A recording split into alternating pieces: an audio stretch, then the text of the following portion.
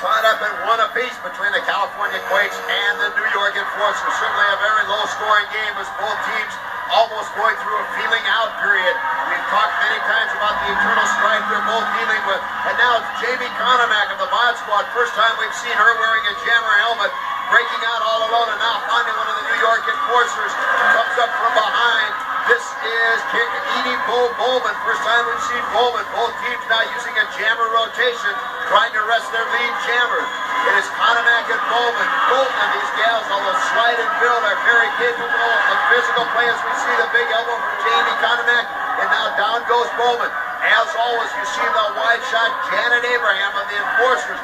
Once the jammer gets out, she rotates to the back. She is of the pack, one of the best blockout blockers in all the WSL. Konomak going to try and have to use her speed to get by Abraham because there's no way she's going to be able to do it physically. Well, we see Heather Gunning with a blocker helmet on, Ken, but we don't see her hamstring wrapped. I'm still questioning why they're not sending Heather Gunning, Heather Gunning out as a jammer. Obviously, they're in a very defensive mode, and Janet Abraham represents that defensive mode. But Edie Bo Bowman, I don't know if she was trying to be offense or defense. She didn't get it done there. Scoreless jam as a result. Konomak's big elbow puts Bowman down, and we are still tied at one to one.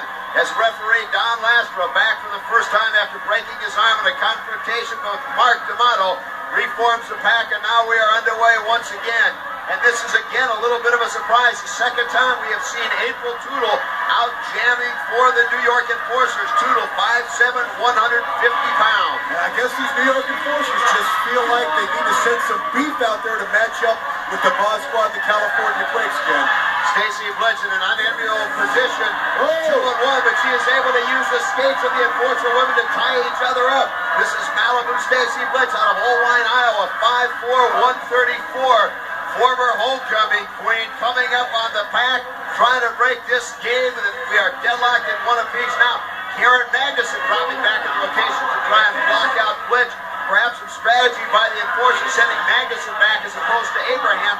Magnuson certainly the more agile of the two skaters, hoping to stay with Stacy. And she uses that elbow and does exactly that as she high-fives Linda Leisure. Another scoreless jam between the Enforcers and the Quakes. And you see Stacy little disgusted with herself, but you call her the homecoming queen. Well, I tell you, if these two Enforcers are homecoming dates, they got they got stranded at the drive-in, so to speak. But you saw Malibu Stacy get around quick, and Karen Magnus closed the door on her, Ken.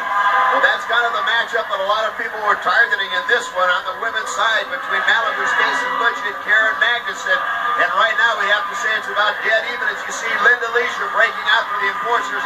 And this is Amy Craig out of Fairhope, Alabama. Leisure and Craig. Craig certainly the faster of the two.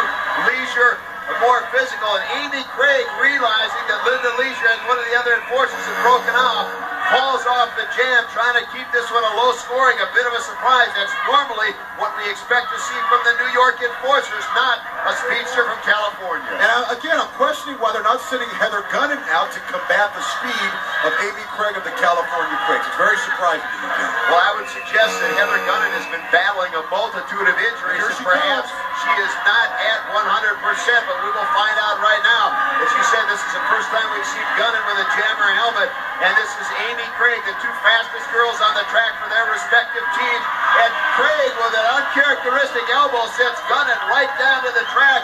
As again, it could be very apparent Heather Gunning is not 100%. Gunning is usually able to maintain her balance. And here comes Amy Craig, and again, Karen Magnuson back. Janet Abraham staying in the middle of the quick catching up to the pack very, very quickly. And there you see the cartwheel from Stacy Blitz, and it works to perfection as Amy Craig is able to go by Karen Magnuson and put a point on the board to make it two to one. And Karen Magnuson goes right after her, kid. We talked a couple of games ago about, or at least I said how that move does absolutely nothing from a strategic point of view, but Karen Magnuson didn't like it, and the move got under her skin.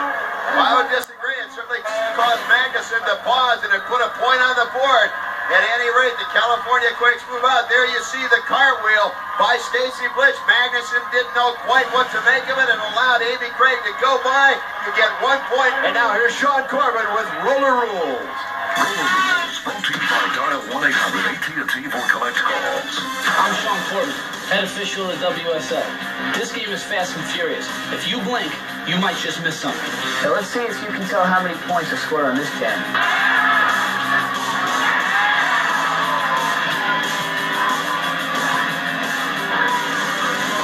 So how many points did you see? Wrong. Martin passes Atkinson for one. Then passes Santiago for a second. Next, he passes Montgomery and Slopey for two more. Then, Tom Smith passes Montgomery and Atkinson for an additional two. That's six points Sundogs. That's the way I saw it, so that's the way it is. Now you know the rule. It is two to one Quakes. We'll be back.